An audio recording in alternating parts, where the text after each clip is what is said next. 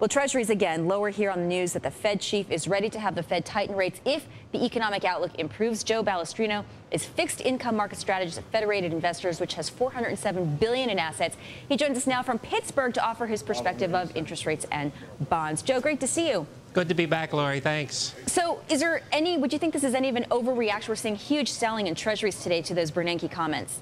I'm not sure I'd call it an overreaction. The overreaction was probably what preceded it you know, when the three-year was rapidly approaching 3% and, and the 30-year went through 4%, it is almost funny in a way that the, the chairman just gave us a textbook comment last night where he said, you know, if things catch hold, we're going to raise rates. Well, that's what we do. But I think there's a subtle message, or maybe not so subtle, that things are getting better slowly, in the next move is to higher rates. So what is it in the timing of Bernanke that caused this sudden turn of asset values? I'm not sure there was any magic to the timing. If there was, maybe it was the continued, you know, pummeling that the U.S. dollar has taken. So in a way, there's a little bit of support from the dollar, and there's some, there's in concert with some of our major trading partners, wouldn't mind seeing their currencies stop the, the, the massive appreciation to help their own economies out. So to the extent you're going to raise rates, you're going to raise interest rates. Your, your currency is going to become a little bit more valuable overnight. I think that's part of it. Would you characterize Bernanke's comments as a verbal intervention?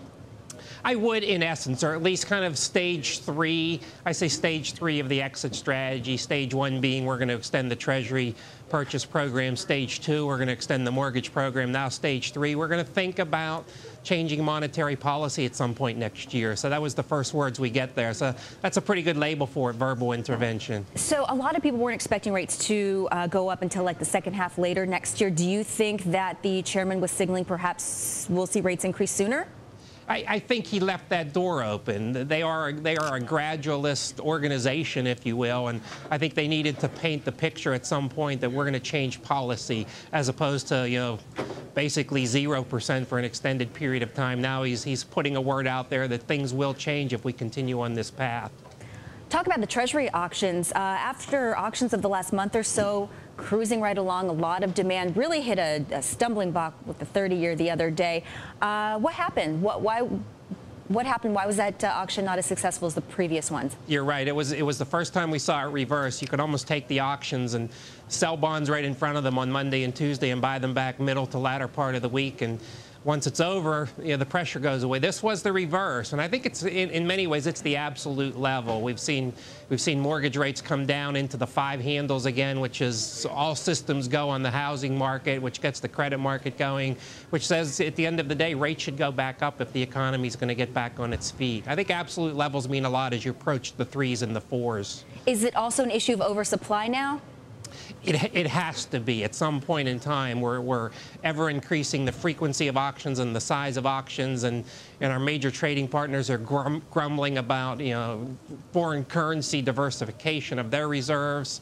So all of that, the supply is an unending story. The deficit situation will not reverse for a long time.